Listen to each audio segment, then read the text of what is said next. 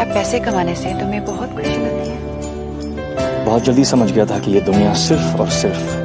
पैसों से चलती है